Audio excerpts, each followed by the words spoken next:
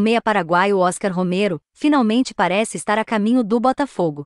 Segundo o portal de notícias Fogão Net, o jogador Oscar Romero, de 29 anos, teria recebido proposta de três clubes brasileiros.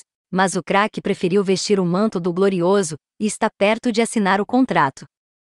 Romero já conversa com o Botafogo desde janeiro, mas o clube tem sido mais criterioso e feito mais avaliações antes de finalizar uma contratação, já que está em processo de transição para a SAF.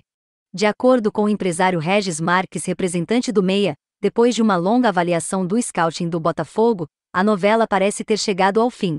Oscar Romero já chegou a um acordo salarial com o Botafogo e deve assinar contrato de dois anos, faltando apenas o clube oficializar a proposta. Com passagens por Cerro Portenho e São Lourenço, Oscar Romero atualmente encontra-se sem clube, o que pode facilitar a sua vinda para o Glorioso. O meio-campista é irmão gêmeo do também futebolista Errol Romero, que atuou no Brasil pelo time do Corinthians.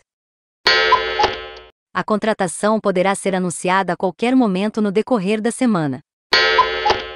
E aí, você aprova a contratação do Oscar Romero? Comente aqui embaixo a sua opinião sobre essa notícia. E se quiser ficar informado sobre mais contratações do Glorioso, se inscreva no canal Fogo TV.